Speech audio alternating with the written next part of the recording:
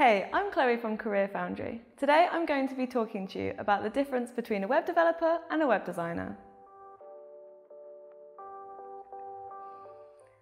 There's a lot of confusion surrounding the difference between web development and web design.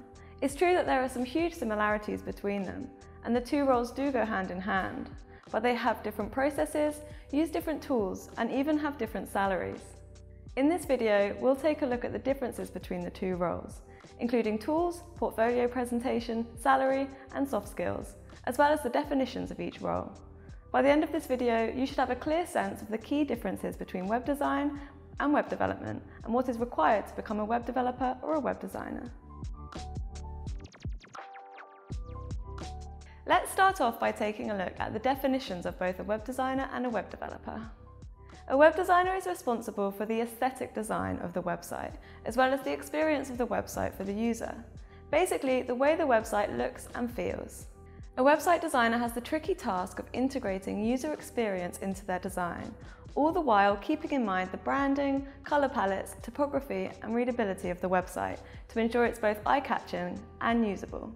A web developer takes those designs and turns them into a live, functioning and error-free website.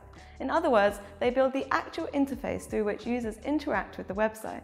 In order to ensure a website's functionality, web developers use web languages such as HTML, CSS and JavaScript, as well as various software application tools in order to code and build the structure of the site. A good way of looking at it is by thinking of web designers as architects creating blueprints for a new home, and web developers builders who turn those blueprints into a real home that the clients can live in. Just as architects and builders collaborate to create a beautiful home for the client, web developers and designers work symbiotically to create an amazing product for the user. This brings us on to our next question. What are the tools used by web designers and developers? As web designers are responsible for the website's aesthetic, they typically use graphic design software such as Photoshop, Illustrator, Figma and Sketch. Tools used to construct wireframes and prototypes to determine the website's layout. Web designers are also responsible for how users navigate through a product and even website analytics. We've already touched on the fact that web developers use programming languages to create the website's code.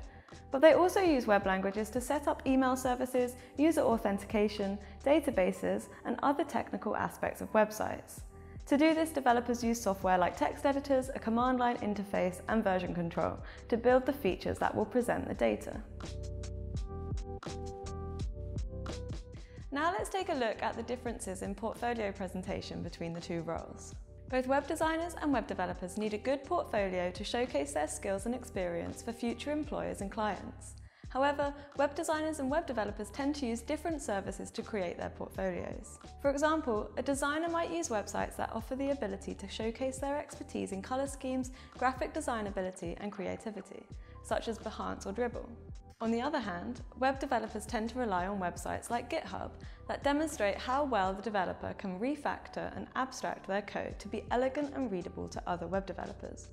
Or cloud-based website hosting services like AWS and Heroku to display static websites and web applications that they might have created. It's time to talk about the subject on everyone's lips, money. Out of the two roles, who earns more? According to Glassdoor, the average salary in the United States for web developers is slightly higher than the average salaries for web designers. However, this is subject to many variables, including location, experience and skill sets. To get a real sense of what each role earns, it's important to do your own research. Websites like Glassdoor, Payscale and Indeed are great for comparing salaries in your specific area. So, what are the soft skills required in both roles?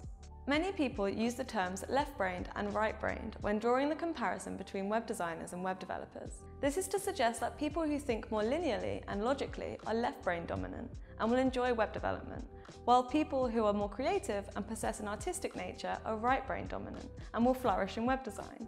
However, there are multiple studies that debunk these theories. So don't think you're more likely to do better in one area than another because you're more creative or more logical. An artist can be as proficient at web development as a mathematician can be as creatively skilled at web design. Now that we've looked at the differences in tools, portfolios and skill sets, you might be wondering which career is for me. While there are quite a few notable differences, the good news is that a web developer can be a web designer as much as a web designer can choose to be a web developer. In fact, either career choice may require you to have adequate functioning knowledge of the other field. For example, successful developers will know how to use colour schemes and typography in creating wireframes and layouts, just as successful designers will understand basic HTML, CSS and JavaScript techniques to understand the technical limitations of their creative layouts and user experience specifications. Either way, it's important to do your research before making a decision. So now you know the difference between web designers and web developers. If you enjoyed this video, don't forget to subscribe to our YouTube channel. And be sure to check out the blog for more tips, insights and information on both web design and development. Thanks for watching and see you next time.